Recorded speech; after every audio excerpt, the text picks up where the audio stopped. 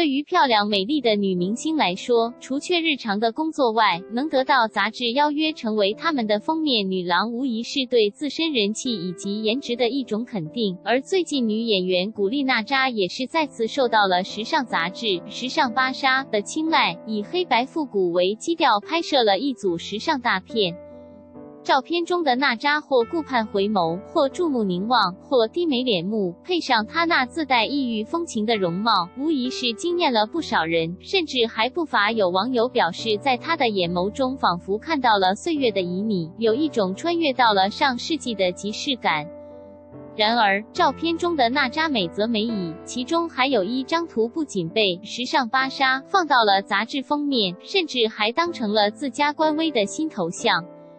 但也正是这张图，让有些网友怀疑自己是不是脸盲了。为什么单看这张会认不出这是娜扎？而有些调皮的网友更是直言自己不信，表示这明明是欧阳娜娜。平心而论，网友的调侃虽然有些夸张，但也并不算太过。要是事先不知道这一期的封面女郎是古力娜扎，乍一看的确是有些认不出。而这多半还是因为修图师有些放飞自我，又忘记强调美感之前得先保真的缘故。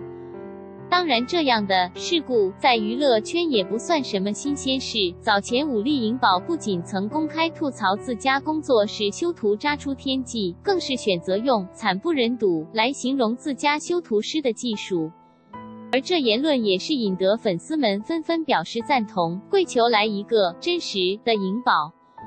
不过，走心说，虽然娱乐圈不乏赵丽颖、古力娜扎这样天生丽质的女明星，但相机的确有时候不仅会将她们的美掩盖，甚至还会将她们丑化。因此，修图也应运而生，发展成了一种必然的存在。不过，修图归修图，还是得考虑下真实，毕竟认不出什么的那就太尬干了，不是吗？特别声明：以上文章内容仅代表作者本人观点，不代表新浪看点观点。或立场，